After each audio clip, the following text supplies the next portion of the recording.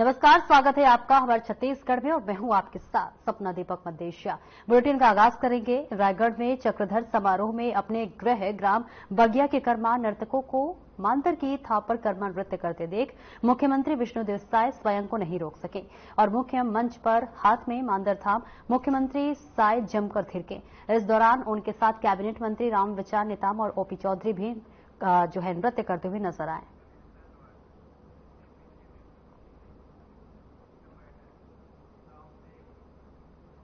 और वहीं मथुरा की सांसद प्रसिद्ध अभिनेत्री हेमा मालिनी ने रायगढ़ में प्रेस कॉन्फ्रेंस की। इस दौरान उन्होंने मुख्यमंत्री विष्णुदेव साय की जमकर तारीफ़ की।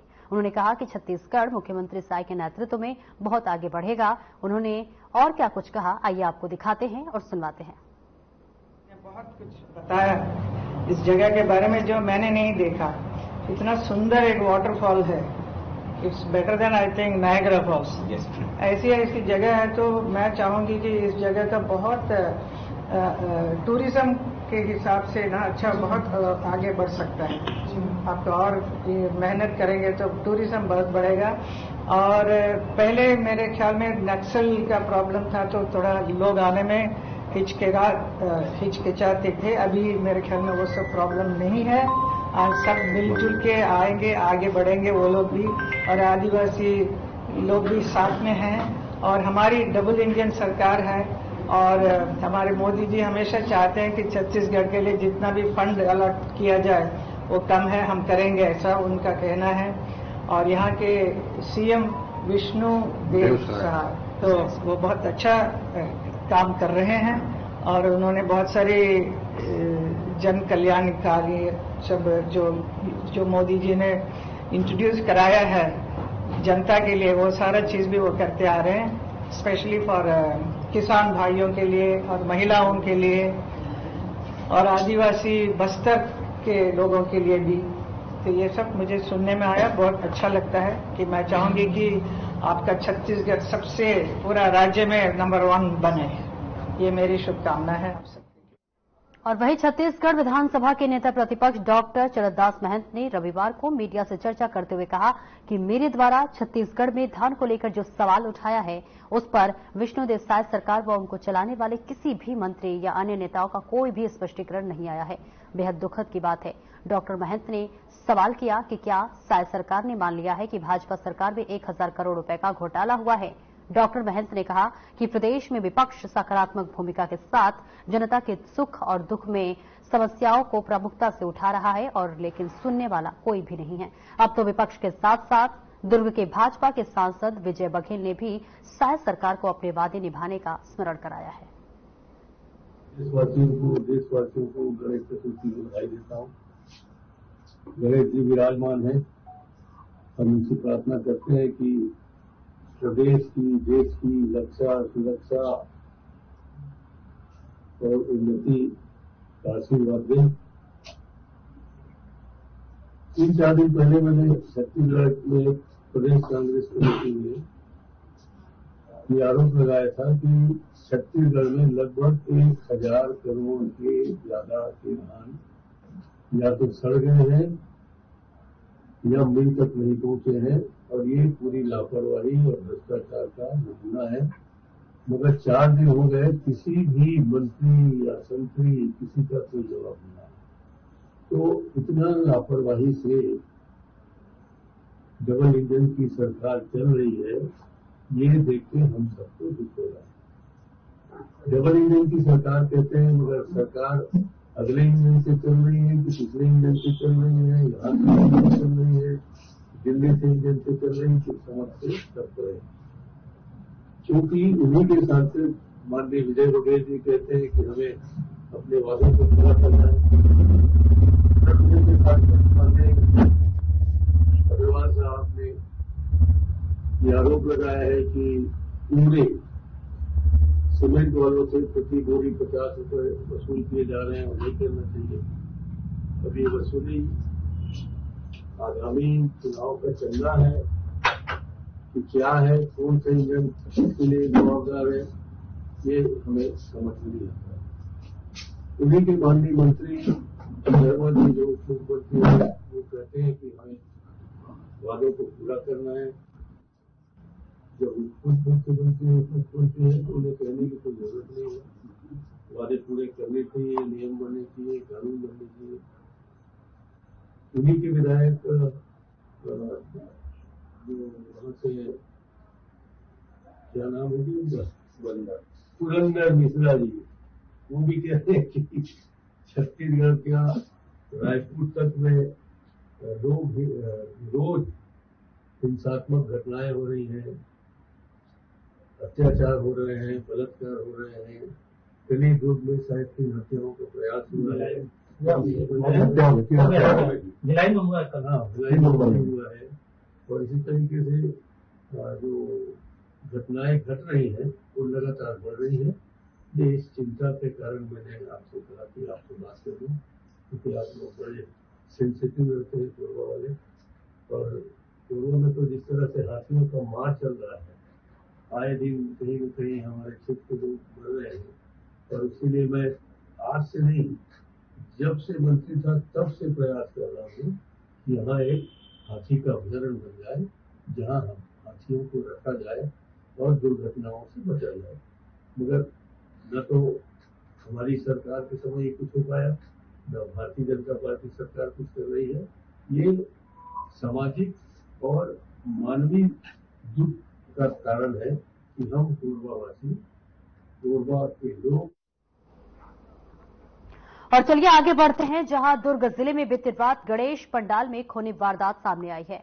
यहाँ ग्राम नंदनी खुंदनी में दो पक्षों में डीजे को लेकर विवाद हुआ, जिसमें तीन लोगों की मौत हो गई है। वहीं एक अन्य घायल है। मामले की जानकारी लगने के बाद पुलिस बल मौके पर पहुँचा। फ़िलहाल मामले की जाँच पड़ताल जारी है। जानकारी के अनुसार बताते चले कि ग्राम नंदनी खुंदनी में पुराना शीतलापारा और यादव मोहल्ला गुट के कुछ लोगों में विवाद हुआ था, लेकिन उस समय आपसी समझाइश के बाद मामला शांत हो गया। बताया जा रहा है कि शनिवार देर बाद वायु यादव से जो है आकाश पटेल को फ़ोन करके शीतला मंदिर के पास बुलाया। वासुदेव जैसे ही वहाँ पहुँचा तो उन लोगों ने उसके साथ मारपीट शुरू कर दी। देखते ही देखते विवाद इतना बढ़ गया कि राजेश यादव ने आकाश पटेल पर चाकू से हमला कर दिया और इसकी जानकारी जैसे ही शीतलपारा के लोगों को लगी तो बड़ी संख्या में लोग वहाँ जुटना शुरू हो गए और इसके बाद गुस्साए लोगों ने भीड़ ने चाकू मारने वाले राजेश करण और वासु की गन्नों से पिटाई कर दी। और इस पिटाई में राजेश यादव, करण और वासु की मौत हो गई, जबकि चाकू लगने से दूसरे पक्ष के आकाश पटेल की हालत बेहद खराब है। पूरे मामले की जानकारी लगने के बाद दुर्ग एसपी जितेंद्र शुक्ला मौके पर पहुँचे। पुलिस ने घटना में शामिल 11 लोगों को गिरफ़्तार किया है। वहीं मृतक राजेश और करण सगे भाई थे और उनके साथ उनका चचेरा भाई वासु यादव भी था। फ़िलहाल पुलिस सभी आरोपियों के खिलाफ संबंधित धाराओं में केस दर्ज कर आगे की कार्रवाई कर रही है। आपके भाई लोग कहाँ गए थे? कल शाम किस तरह से विवाद हुआ था और किस तरह से डांस वांस में धुमाल उमाल में और किस तरह से आप आरोपियों के खिलाफ सजा चाहते हैं? मेरे भाई लोग गए थे शाम के छह बजे निकले मेरा छोटा वाला भाई जो है तन्नू उसका नाम है। और हुआ यूँ कि वो छह बजे हम लोग बोले कि नहीं मत जा मत जा ऐसा करके फिर वो लोग चले गए। फिर वो पता चलता है कि डीजे में ऐसा वैसा हो गया है झगड़ा हो गया है ऐसा करके फिर उधर गए उधर से वापस आए नहीं मेरे भाई। और क्या हुआ क्या नहीं हुआ मैं कुछ नहीं जानती। कुछ लड़के आए थे हमारे घर में। मारने के लिए डंडे लाठी लेके सब। लेकिन उस टाइम मेरे भाई लोग नहीं थे। उन लोगों को उन लोग मार चुके थे। इस कारण से मैं वो उस वो मोहल्ले में गई थी उस लड़कों से बात करने लेकिन कोई नहीं सब अपने घर में छिप गए हैं। तो मैं चाहती हूँ कि मैं अपने, अपने भाई के हत्यारों को सजा मिलनी चाहिए। शाम को गणेश जी लाने के उपलक्ष्य में डीजे बजा के शीतला शीतला गणेश समिति के द्वारा नंदनी खुन्नी में डांस और गाजे बाजे के साथ में लाया जा रहा था। तो इसमें यादव लड़के चार धन्नू करण राजेश और वासु। ये चारों भी इसी डीजे पार्टी के साथ में डांस करके शामिल हो गए। डांस करने के दौरान में धक्का मुक्की पर विवाद हुआ भागी पटेल से। ये विवाद वहाँ पे लोगों ने समझाने बुझाने पे शांत हो गया। दूसरे दिन लगभग साढ़े ग्यारह बजे नंदी खुंदी में सोनू पटेल को इन लोगों ने घेर के मारा। धन्नू आ, करण राजेश और वासु ने। ये मारपीट की, जब लोगों पटेल लोगों को जानकारी हुई थोड़ी सी नाराज़गी हुई, उसके बाद भी बड़े बुज़ुर्गों ने इसको समझा बुझा लिया। रात करीब आठ बजे धन्नू ने वासु को फ़ोन किया तो वासु बताया, यहाँ झगड़ा हो रहा है, जल्दी आ जाओ। तो शीतला मंदिर के पास में मारपीट होने लगी। इसी मारपीट में करण, वासु और राजेश और वही शक्ति के ग्राम रेडा की लाचार माँ ने अपनी बेटी को इंसाफ दिलाने के लिए कानून का दरवाज़ा खटखटाया है। पीड़ित माँ ने सवाल उठाया है कि उसकी बेटी की क्या गलती थी और कब तक बेटियाँ दहेज के नाम पर बलि चढ़ती रहेंगी। आपको बता दें कि सत्ती के गाँव में नवविवाहिता ने इकतीस अगस्त को फांसी लगाकर खुदकुशी कर ली थी। मृतका की शादी इस साल 10 मई को डिक्सी के रहने वाले थमेश साहू के साथ हुई थी। मृतका की माँ का कहना है कि उसकी बेटी को दहेज के नाम पर परेशान किया जाता था, जिसकी जानकारी बेटी ने कुछ दिन पहले ही उसे दी थी। और अब पीड़ित माँ ने जिला कलेक्टर, जिला पुलिस अधीक्षक और महिला बाल विकास मंत्री को आवेदन देकर मौत के असली कारणों का पता लगाने की गुजारिश की है और साथ ही जो भी इसके लिए जिम्मेदार है, उन पर कड़ी कार्रवाई की मांग की है। मैं हम बेटी दे रही साहब। बोले पिछले शनिवार की सूचना मिली से फांसी में लगा के के साहब। बोले कर अच्छा से अच्छा जानकारी चाहिए साहब, और सजा दिलवाना चाहिए सर। मैं सब चीज़ से परेशान सर। मला अच्छा से अच्छा उचित से जानकारी हो, और जो दोषीदार है उसको सजा मिलना चाहिए साहब। मैं कहा थी साहब। शिकायत करे आ रहा अधिकारी बन करे का बोली ठीक है इसका जाँच पड़ताल करवाएँ तो बोली का बोली से शिकायत करे? रायपुर के पंडित दीनदयाल उपाध्याय ऑडिटोरियम में अंतर्राष्ट्रीय साक्षरता दिवस एवं उल्लास मेले का आयोजन किया गया है जिसमें मुख्यमंत्री विष्णु देवसाय समेत दूसरे गणमान्य लोगों ने शिरकत की है। इस मौके पर आपको बता दें मुख्यमंत्री विष्णु देवसाय ने संबोधित भी किया है।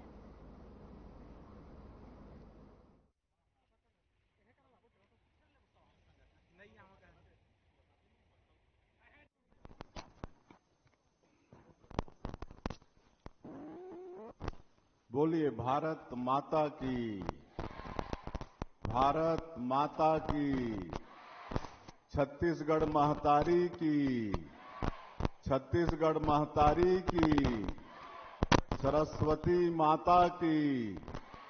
सरस्वती माता की। गणेश भगवान की। गणेश भगवान की। गणेश भगवान भी बुद्धि देने वाले हैं ना? आज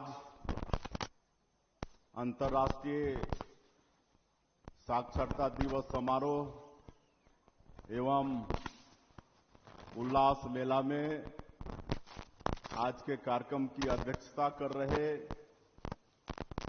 हमारे रायपुर जिला के प्रभारी मंत्री और छत्तीसगढ़ सरकार के वन जलवायु परिवर्तन सहकारिता जल संसाधन मंत्री श्री केदार कश्यप जी, हमारे रायपुर के लोकप्रिय सांसद, पहले शिक्षा मंत्री भी थे, आदरणीय श्री ब्रिजमोहन अग्रवाल जी, हमारे विधायकगण, श्री पुरंदर मिश्रा जी, श्री मोतीलाल साहू जी, श्री अनूप शर्मा जी, पद्मश्री, श्री गुरु खुशवंत साहिब जी, श्री इंद्र कुमार साहू जी, हमारे शिक्षा विभाग के सचिव श्री सिद्धार्थ कोमल परदेसी जी, डायरेक्टर संजीव झा जी, समग्र शिक्षा, डायरेक्टर कटारा जी, शिक्षा विभाग के सभी अधिकारीगण, और आज के इस उल्लास सभी राष्ट्र के निर्माता कहे जाने वाले शिक्षक सभी देश के भविष्य कंधार स्कूली भाइयों और बहनों, शिक्षार्थीगण और ये साक्षरता मिशन में जो विशेष काम कर रहे हैं, श्री प्रशांत, श्री दिनेश और मीडिया के साथीगण, आप सभी लोगों को सबसे पहले अंतर्राष्ट्रीय साक्षरता दिवस की बहुत बहुत बधाई, बहुत बहुत शुभकामनाएँ। बंधुओं, हमारे विद्वानों ने कहा है कि शिक्षा विकास का मूल मंत्र है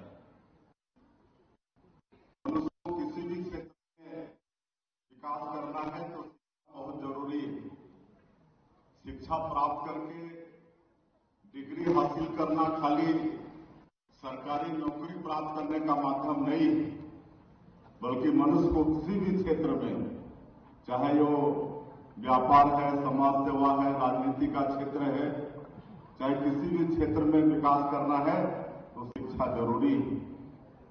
और विद्वानों ने भी कहा है कि शिक्षा के बिना जीवन अधूरा है।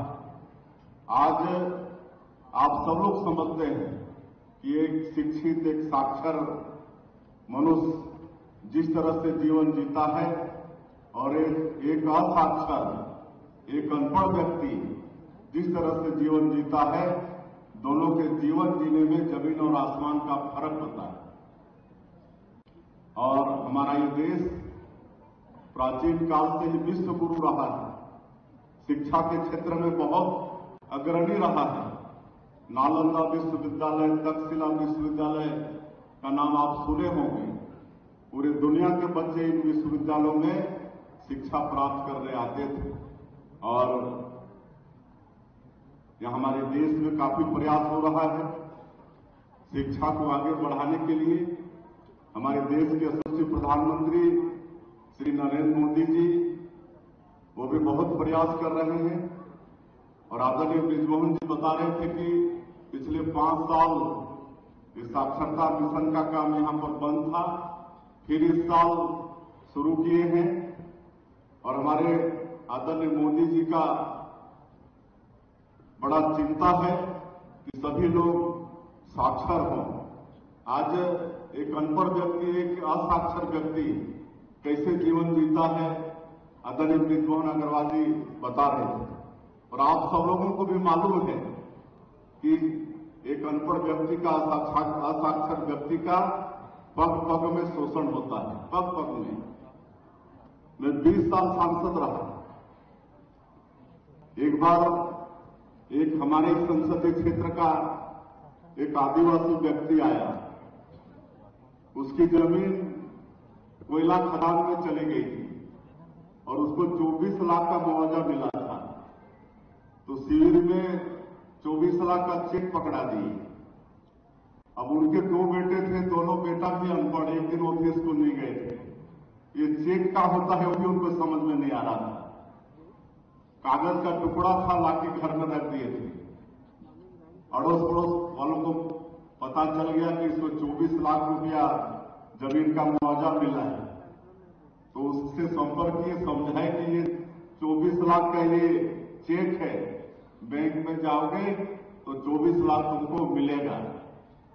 और अड़ोस पड़ोस के लोग उसको बैंक ले गए, विड्रॉल फार्म में दस्तखत कराए और 24 लाख रुपया आहरण कर लिए और छोटा छोटा नोट उसको एक मोटा मोटरी दो ढाई लाख का बाँध दिए और उसको चलता कर दिए।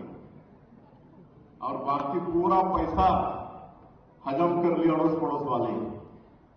और जब उसको वास्तविकता का पता चला कहीं से तो हमारे पास आया और सारी व्यथा उसने बताई कि इसी तरह से हमारे साथ फ्रॉड हुआ है। तो ये होता है, असाक्षर रहने से, अनपढ़ रहने से। ये मैं सच्ची घटना आपको बता रहा हूँ। इस तरह की अनेक घटनाएँ घटती हैं। कई बार ज़मीन की रजिस्ट्री होती है, दस डिसमिल की बात होती है और लिखा पढ़ी होता है, उसमें एक एकड़ की रजिस्ट्री करा लेते हैं। अनपढ़ आदमी को पता नहीं होता है, वहाँ पर रजिस्ट्री ऑफ़िस में वो अंगूठा लगा देता है, दस्तखत कर देता है, बाद में पता चलता है कि उसकी एक एकड़ ज़मीन चली गई और उसको दाम मिला दस डिसमिल का। कई बार बैंक से पैसा आहरण करना है। अनपढ़ या साक्षर है, किसी का सहयोग लेता है, उसमें उसके साथ फ्रॉड होता है। पिछले सरकार में एक सच्ची घटना में बता रहा हूँ। हमारे जसपुर ज़िले में एक मंडरसिली करके गाँव है, कोरवा लोग हैं। मैं जब सांसद था तो उस गाँव को गोद लिया था। वहाँ का एक कोरवा परिवार, कोरवा जानते होंगे, कोरवा विशेष पिछड़े अनुसूचित जनजाति बीबीटीजी में जो आते हैं, उनके परिवार का 25 एकड़ का ज्वाइंट खाता था। और पिछली सरकार का एक मंत्री वो एक आध एकड़ का सौदा किया और 25 एकड़ पूरा रजिस्ट्री करा लिया था 25 एकड़ रजिस्ट्री करा लिया था। और जब हमको पता चला, उसको भी नहीं मालूम था कि चेक क्या होता है। उसको चेक दे दिए थे तो बहुत दिन में पता चला कि उसको ये चेक में पैसा मिलता है।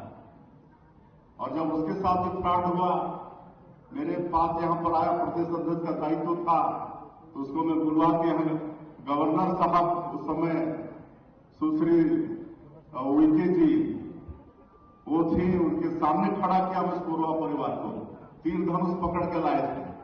यहाँ पर पूरा प्रेस कॉन्फ्रेंस किया और मीडिया के सामने उसको बैठाया और तब जाके उसका 25 एकड़ ज़मीन वापस हुआ।